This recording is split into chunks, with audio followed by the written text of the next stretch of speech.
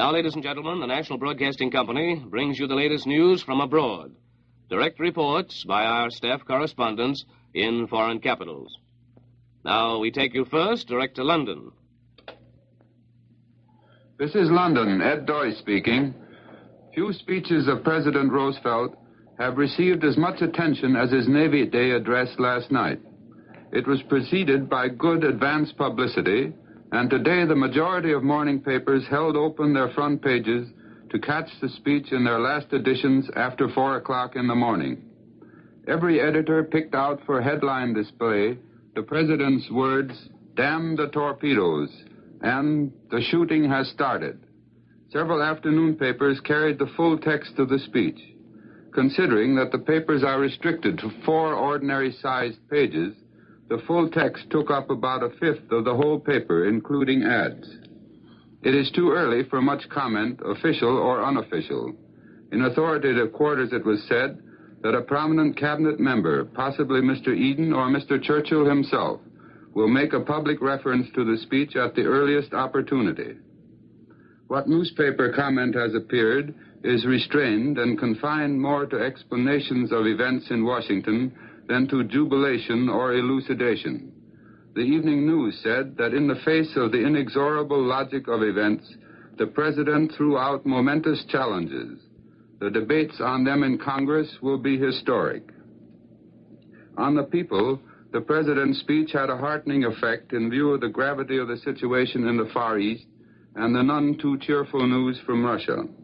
Authoritative circles were inclined to regard the Soviet Japanese frontier clash of last Sunday as an isolated incident from which no serious repercussions are to be expected. On the whole, however, a Japanese move is expected at any moment. Nobody professes to know in what direction the Japanese will move. Nervousness about Japan was especially noticeable in the financial districts. Japanese bonds continued to fall slowly, all bonds and shares of companies directly or indirectly interested in the Far East fell in sympathy.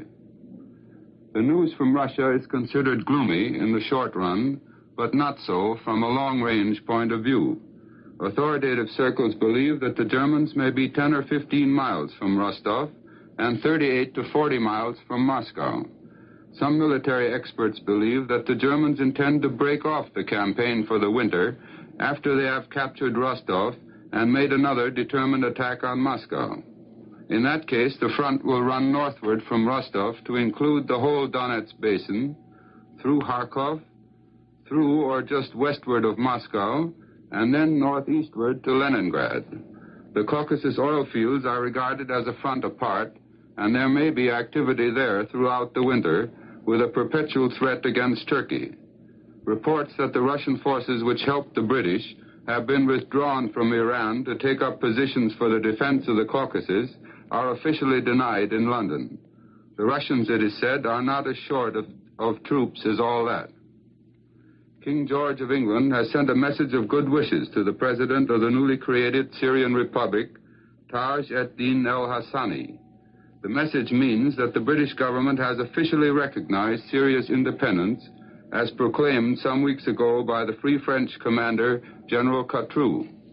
The independence, it was stated, is not conditional, but it is probable that the independence accorded is for the duration of the war conditional on a defensive alliance between Syria and the Allies. The recognition procedure adopted has set international legal experts scratching their heads. There is no doubt that the League of Nations, whose approval would ordinarily have had to be obtained, was bypassed. This, it was stated, is not because the League is considered dead, but only dormant because of war conditions. London has ready for emergency the biggest combined catering scheme yet evolved. The scheme would be ready to function immediately the London, London County Council considered it necessary. West End hotels and workmen's dining rooms, clubs, tea shops, milk bars, and pubs have united to perfect the organization in which each will serve alike. Menus will be standardized. A cup of tea would cost one penny, soup tuppence, stew would be ten cents, and all this would be available in West End hotels or East End coffee stalls. It is emphasized that this blitz feeding would only be introduced if the emergency were really grave. but it is ready to function immediately. I return you now to the National Broadcasting Company in New York. Now, some late dispatches as received here in the newsroom in New York. Uh, this one is dated Moscow. Today's Soviet communique gives no details of the fighting at the front. It says only that Russian and German troops fought overnight in the same sectors of prolonged conflict before Moscow and in the Donetsk Basin. Hitler's armies are said to be 38 to 40 miles from Moscow at the nearest point. And from Tokyo, the Japanese news agency says that an American soldier has been shot by a Chinese in Beiping. The soldier's name is not given, nor whether the shooting was fatal. He is said to have been on duty in front of United States barracks at the time the gunman escaped. And now, next a report direct from the Reich. Here is Alex Dreyer speaking from Berlin. Hello, NBC. This is Alex Dreyer in Berlin. Official German comment today to the President's speech is again keynoted by the use of such words as swindle, forgery, stupidness, and fantasy. A propaganda ministry spokesman branded the speech as a swindle from beginning to end. He said that the President's statement to having in his possession a so-called secret Nazi map of South America represents the height of falsification. The spokesman said that no such map exists, and if one does, he added, then it's a pure case of forgery. On the other side of the Wilhelmstrasse, the Foreign Office spokesman, who tonelessly commented for 20 minutes, told correspondents that the speech surpasses anything thus far in idiocy and shamelessness. The Foreign Office spokesman put the question Is it the speech of a man who has lost his mind, or that of a political criminal? He talked in a low, quiet voice and compared the president with the old German king, Ludwig II of Bavaria, who, according to the Foreign Office spokesman, also had his days of mental abnormality. The spokesman said that the only reaction the German government could give was not political, but medical. DNB maintains that the president has reached an all-time high in fantasy. News from the Eastern Front this afternoon is again limited. The High Command says that the pursuit of the retreating enemy in the Donetsk Basin continues. The communique maintains that German troops yesterday fought their way into the town of Kramatorskaya, about 112 miles southeast of Kharkov. The Russians are said to have lost thereby one of their largest tank manufacturing plants. Other industrial towns, according to the communique, were captured by Hungarian troops. Although not mentioned by the High Command, reports here assert that the Luftwaffe yesterday again directed rolling attacks against Soviet lines of communication south and east of Moscow. Seven railway lines are said to have been bombed. The High Command today again holds back all details on land fighting along the Moscow front, beyond saying that operations are in progress. Seven years before the Nazis came to power, Dr. Joseph Goebbels was made Gauleiter of Berlin by Hitler. And today in the German press, which he controls, Goebbels pays tribute to the Berliner in an article titled 15 Years Gau Berlin. Goebbels says that the Berliner has handled himself during the two years of war in a manner which deserves high praise. But he says the Reich capital must excel in discipline, in national enthusiasm, in national solidarity, and in proud toughness of its political attitude. Goebbels admits that since the war started, some families have gone without sufficient coal to heat their rooms, and that the difficulties of transportation, as he put it, has at times affected the supplies of vegetables, including the potato, as well as cigarettes and cigars. But Goebbels adds, it was a pleasure to see how the Berliner mastered the difficulties. The propaganda minister, who was a Rhinelander, states he is proud that the capital has never reproached him for not being a Berliner. The people of Berlin, he concluded, are good humored. The German press today publishes a long list of radio stations which Goebbels says the Germans and people in the occupied countries are allowed to listen to. There are 84 stations listed, some of which indicate the trend of the more recent German conquests. Listed already are Smolensk and stations in Lithuania, Estonia, and Latvia. The BBC is not listed among the stations and strangely enough, neither is Radio Rome. This is Alex Dreyer in Berlin, Now returning you to NBC in New York. And that's the latest news on the war. Now, for word of developments at home, here is Earl Godwin speaking from the newsroom in Washington. Good morning, folks. You know, it's rather difficult to make a, a just a plain news report after you've had your main stuff stolen from you from by London and Berlin. Really, they put up two extremes on the president's speech.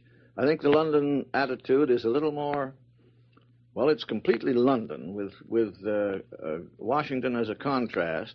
But the Berlin attitude seems would seem to us here to be perfectly ludicrous, because if this thing gets going, what uh, the Berlin people will need isn't good medical advice. It'll be something else. And when it comes to the ravings of a madman, those boys over there who've heard Hitler on many an occasion certainly ought to be expert on that stuff by now.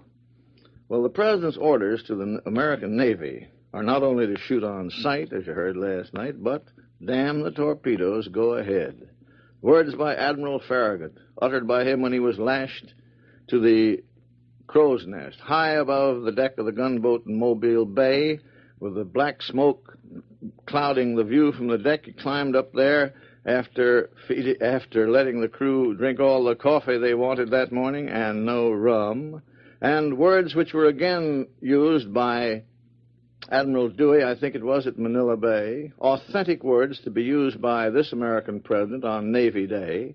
At least it's thought so here in administration quarters. It's taken to mean an actual part in the war by London editors, have you, as you heard, and according to the news which is trickling over here now, the president outlined a greater part in the war against Nazism. But so far, he outlined it as a part of delivering the goods, but shooting our way over there if necessary. A naval war, a naval combat, or naval hostilities without a declaration. But immediately, Senator Wheeler of Montana, and you know where he stands, comes out with a statement that if the things Mr. Roosevelt fears and says are true, why not ask for a declaration of war now and not sneak in by the back door? Of course, the big news, I think the one piece of news in the speech, outside of the news of its tone and declaration, was the disclosure of that thing which Alex Dreyer said the Germans spurned.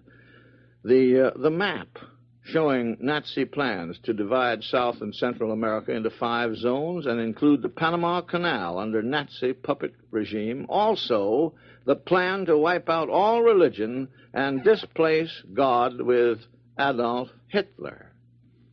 Despite the fact that the Germans sneer and laugh and say there's no such map in existence, I think it is at least two or three years ago that I heard rumors here in Washington from very secret high places that general orders to that effect had been found by American counterespionage officers and placed in very secretive places so that even all the cabinet officers didn't know anything about them. Well, and as expected, the president took a crack at John Lewis when he called for expansion in production, declared there should be no obstruction either from greedy industrialists or selfish labor leaders. Every coal mine must produce, said the president, but right now the mines John Lewis closed are idle, and Washington awaits the next step in the forthcoming showdown. It's likely the developments will wait until Wednesday or Thursday after Lewis and Myron Taylor meet the President has made three appeals to Mr. Lewis, to which the Mine Labor Union chieftain has made no reply to the first, said no to the second, and no comment to the third. Congress is upset over the strike situation, has offered further and drastic legislation to stop the defense industry strikes, but so far the administration has brushed aside these suggestions and unless something is done, I think the President will now ask for legislation or open the mines by the government, and that's all from Washington at this time. Thank you, Mr. Godwin. Now we've heard from Ed Doyce in London, Alex Dreyer in Berlin, and Earl Godwin in Washington in another of NBC's morning news roundups. Keep tuned to this station for the latest news. This is the National Broadcasting Company.